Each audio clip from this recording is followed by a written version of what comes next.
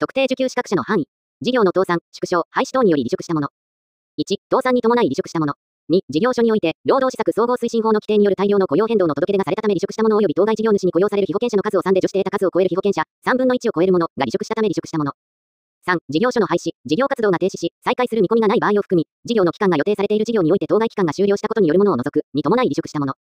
4、事業所の移転により、通勤することが困難となったため離職したもの。特定受給資格者の範囲、解雇等の理由により離職したもの。1、解雇、事故の責めに帰すべき重大な理由によるものを除く。2、労働契約の締結に再指名示された労働条件が事実と著しく相違したこと。3、賃金、退職手当を除く、の額を3で除して得た額を上回る額、3分の1を超える額が支払い期日までに支払われなかったこと。4、予期し得ず、賃金が労働者に支払われていた賃金に比べて85%未満に低下した、または低下することとなったこと。5、次のいずれかに該当することとなったこと。あ、離職の日の属する月の全6ヶ月において、次のいずれかに該当する時間外労働及び休日労働が行われたこと。いずれかの月において1ヶ月あたり100時間以上、時間外労働及び休日労働が行われたこと。いずれか連続した2ヶ月以上の期間の時間外労働及び休日労働を平均し1ヶ月あたり80時間を超えて、時間外労働及び休日労働が行われたこと。いずれか連続した3ヶ月以上の期間において労働基準法36条に規定する限度時間、月45時間に相当する時間数を超えて、時間外労働及び休日労働が行われたこと。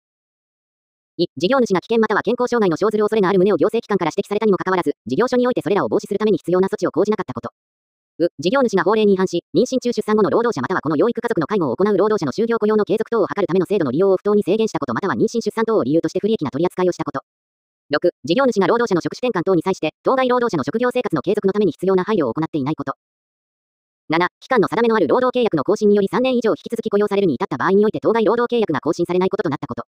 8、期間の定めのある労働契約の締結に際し当該労働契約が更新されることが明示された場合において当該労働契約が更新されないこととなったこと、上記7に該当する場合を除く。9、事業主または当該事業主に雇用される労働者、上司、同僚等から就業環境が著しく害されるような言動を受けたこと。